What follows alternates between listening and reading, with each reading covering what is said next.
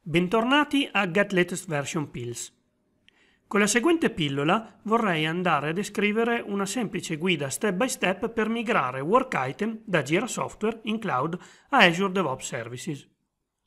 Come è possibile vedere qui davanti avete un progetto creato come target della nostra migrazione su Azure DevOps ed un altro, che è la nostra sorgente, creato sul cloud di Jira Software già organizzato in sprint corrente ed elementi del backlog. Quello che vogliamo ovviamente è copiare tutti questi elementi all'interno di quello che è il nostro team project creato appositamente su Azure DevOps, avendo il più possibile le cose uguali, quindi la storia, l'assegnazione, i tag, gli story points, le priorità, tutto quello che ci serve. Ovviamente per ottenere questo tipo di migrazione non basta utilizzare uno strumento, vero? E invece no. Esistono già degli strumenti, anche open source, che consentono di migrare questi elementi sulla base del template di processo di Gira direttamente nel nostro template di processo su Azure DevOps, anche se il template di processo, come indicato nel mio progetto di esempio, utilizza un template non standard. Infatti questo Simplified Scrum è semplicemente una copia ereditata dello Scrum con un item in più che mi consente la gestione delle operation. Uno degli strumenti che possiamo andare ad utilizzare per effettuare appunto questo tipo di migrazione è il tool di Solidify, il Gira Azure DevOps Migrator. Attenzione perché la scelta di questi strumenti verte soprattutto su alcune domande molto molto importanti, tra cui ad esempio il workflow che abbiamo sulla sorgente, quindi il flusso del cambiamento degli stati è esattamente speculare a quello che vogliamo ottenere sul target oppure vogliamo cambiare il comportamento? Vogliamo rimuovere o aggiungere qualche stato? Eh, va bene il workflow che avevamo sul tool sorgente vogliamo cogliere l'occasione anche per cambiare il modo di approcciare la metodologia anche a fronte di una migrazione culturale e di metodo stesso? Eh, abbiamo bisogno di preservare le relazioni tra gli elementi? tutti gli elementi ci servono oppure possiamo migrare solo una parte, magari soltanto quelli nuovi e quelli di cui ci serve la storia. E soprattutto degli elementi ci serve la storia? Infine, al di fuori di questa migrazione che vi farò vedere nella pillola, è importante anche capire quali degli strumenti che avevo prima invece voglio tenere, perché potrebbe essere ad esempio che vado a migrare tutto quello che è repository e work item, ma magari voglio tenermi la wiki su un altro prodotto perché è estremamente efficace con le abitudini e la metodologia che applichiamo quest'oggi e che va d'accordo anche dopo la migrazione, diciamo. Andiamo a vedere un attimino come è fatto questo strumento. Prima di tutto dobbiamo andare a scaricarlo direttamente dalle ultime release da GitHub. Troverete poi comunque il link in descrizione e nel post a supporto di questa pillola. Quest'ultima versione, la 2.3.117 ad oggi, contiene uno zip, ci sono anche i codici sorgente, però contiene uno zip che una volta decompresso al suo interno ha l'applicazione. Quindi alla fine abbiamo due comandi, il gira export e il wi import, che sta per work item, quindi gira export esporta file, eh, work item import importa tali file sulla base del mapping.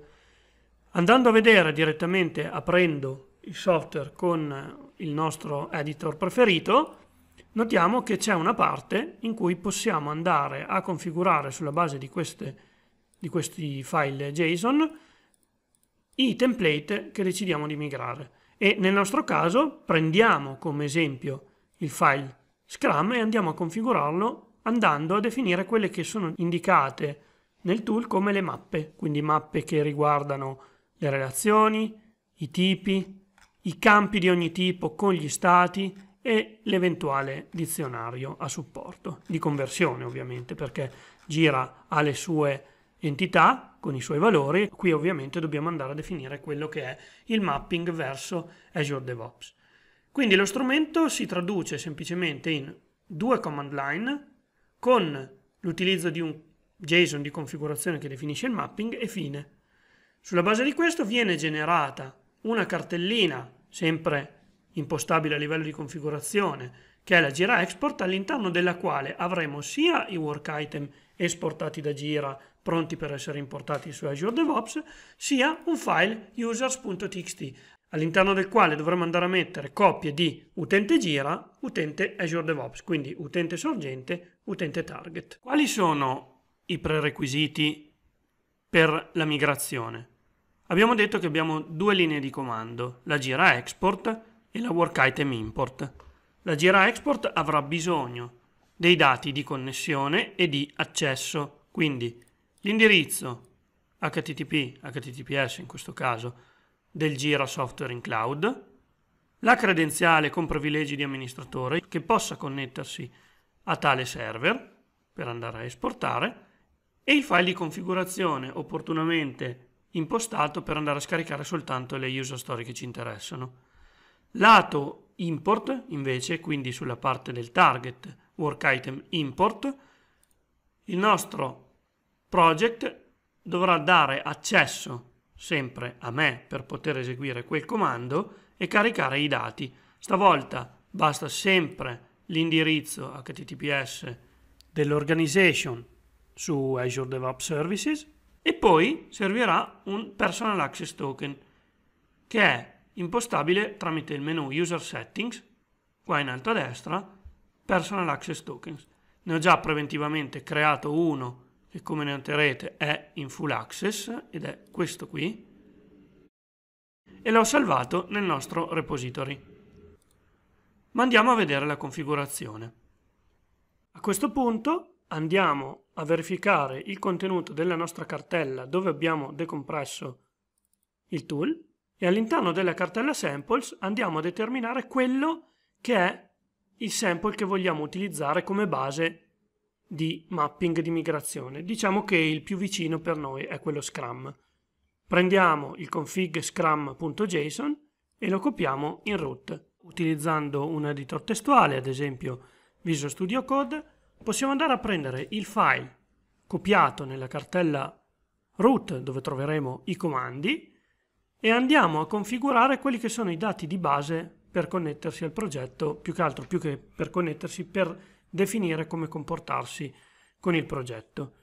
Eh, ad esempio nella parte iniziale abbiamo il source project in cui metteremo il nome del progetto sorgente, quello di Gira, il target project che è il nome del progetto fatto su Azure DevOps e poi andremo a cambiare la query mettendo ovviamente il nome del eh, progetto sorgente perché stiamo parlando di query JQL su Gira imposteremo se il progetto Gira è in cloud o meno.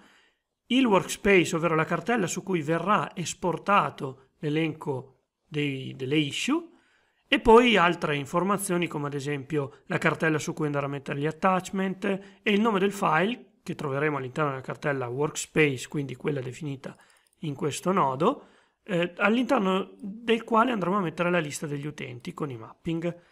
Il nome del process template, quindi il nostro simplified Scrum, che è quello dedicato appunto a Azure DevOps, e poi potenzialmente le mappe dei link, lasciando anche quelle di default, eventuale mappa tra item Gira e item Azure DevOps, quindi source e target. Ad esempio potremmo dire che le nostre story vanno dentro un altro item diverso dal product backlog item, oppure potremmo creare un tipo custom su Gira e mapparlo sul nostro tipo. Tutto sta a come eh, decidiamo di definire il nostro workflow e il nostro process template. Il mapping degli stati scusate, dei campi e, ad esempio qui vediamo le priorità, oppure anche il mapping degli stati divisi per tipo, quindi per ogni tipo di elemento, per esempio il bug, il product backlog item con la chiave for, avremo lo status di gira viene mappato sul system state di Azure DevOps e i valori possibili sono questi tre.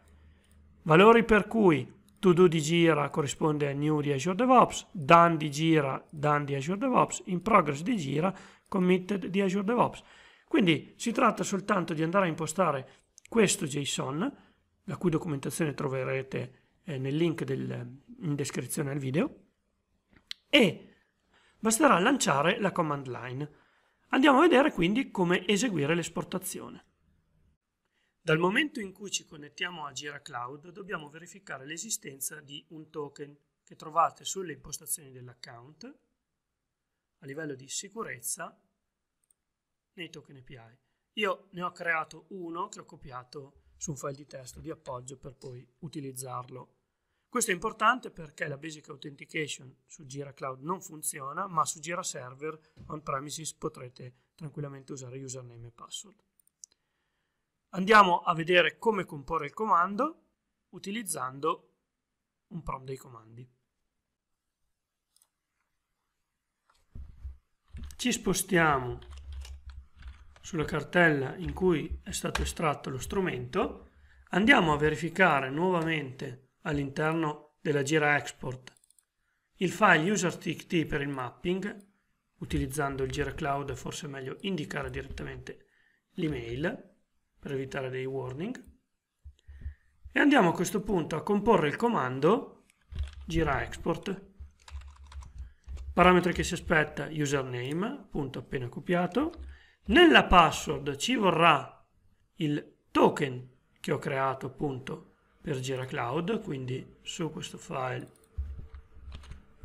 questo token, l'URL a cui connettersi, che è l'URL dell'organizzazione del nostro progetto Gira, e la configurazione da utilizzare. Che è il file su cui stiamo lavorando. Ricordiamo che praticamente l'abbiamo lasciato di default. Eseguiamo il comando, vengono esportati i nostri 7 item, attenzione, interessante, un warning. Un warning perché? Perché siccome la lingua del progetto che ho creato io è in italiano, probabilmente esiste uno stato da completare che io non ho mappato per l'elemento story. Come facciamo a risolvere un problema come questo? Basta andare sul nostro file di configurazione e nell'elemento che è mappato sulla story, quindi il product backlog item, andare ad aggiungere un nodo che determini che da completare come stato è mappato ad esempio su committed. Quindi a questo punto possiamo andare sulla gira export, cancellare tutto quanto è stato creato lasciando lo users.txt e rilanciare il comando da capo, stessi parametri. Ecco qui, tutti gli elementi vengono creati perfettamente e il formato utilizzato per formattarli è ovviamente un formato che può essere tranquillamente importato da Azure DevOps. E infatti lo step che ci manca è proprio l'importazione. Andiamo quindi ora a vedere come si fa l'importazione degli elementi. Come è possibile immaginare, si tratta semplicemente di impostare il comando corretto. Quindi ancora una volta da un prompt dei comandi ci spostiamo sulla cartellina in cui abbiamo estratto il tool e questa volta il comando è wi import. Quali sono in questo caso i parametri? Molto semplice, serve il token salvato nel nostro repository, quindi questo, Poi l'URL a cui puntare, quindi nel nostro caso andiamo a prendere il progetto di Azure DevOps,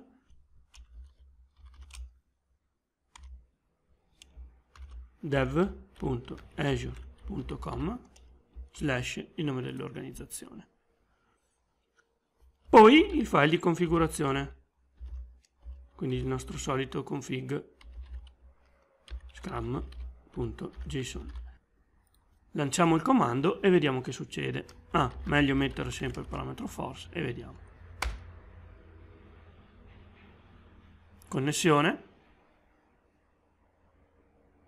Ecco qua. Guardate, stiamo importando 7 elementi con 45 revisioni, quindi c'è anche la storia.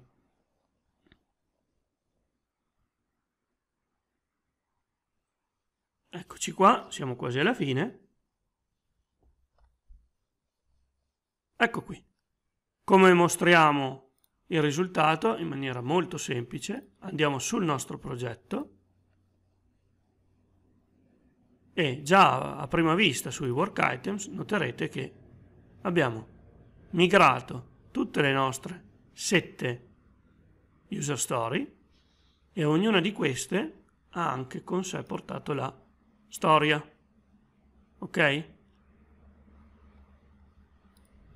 Queste user story che sono diventate product backlog item dove sono stati messi? Sotto l'area migrated e sotto gli sprint al di sotto dell'iteration migrated. Quindi semplicemente andando a lavorare con i nostri backlog è possibile metterli e assegnarli ad alcuni team, spostarli sotto altre aree, sotto altre iterazioni. Risultano comunque importati all'interno di Azure DevOps. Quindi avete visto come in pochissimo tempo è stato possibile esportare tramite un semplice tool open source al quale potrete contribuire nel link che vi lascio in descrizione e importarli in pochissimo tempo appunto su Azure DevOps. Vi consiglio di fare qualche prova sul vostro account di test come ho fatto io prima di procedere effettivamente con la migrazione di produzione. Per questa pillola è tutto, se vi è piaciuto il video mettete un like, vi consiglio di sottoscrivervi al canale e cliccare la campanellina per rimanere sempre aggiornati. Grazie da Get Latest Version e alla prossima pillola.